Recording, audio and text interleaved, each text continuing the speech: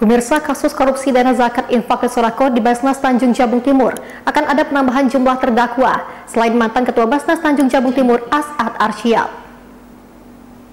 Bendahara Basnas Tanjung Jabung Timur Nur Baiti akan disidang di Pengadilan Tipikor Jambi sebagai terdakwa perkara korupsi. Sebelumnya telah disidangkan di pengadilan tersebut dan hakim telah memutuskan dakwaan dari Jaksa Penuntut Umum Kejari Tanjung Jabung Timur untuk Nur Baiti tidak memenuhi ketentuan alias tidak berlaku. Jaksa Penuntut Umum Kejari Tanjung Jabung Timur memastikan berkas dakwaan dilakukan perbaikan sehingga bisa membawa bendahara Basnas ini kembali ke sidang. Uh, ini memang untuk kasus ini kan ada dua tersangka kemarinnya bang uh, ketua Basnas sama bendahara. Nah bendahara gimana statusnya bang? Statusnya saat ini sedang proses dan akan kita limpahkan ke pengadilan. Itu pasca putusan selah pasca putusan. Apa itu bang kalau boleh tahu berkas yang perlu dilengkapi bang yang menjadi kes, uh, mengenai dakwaan. Dakwaan.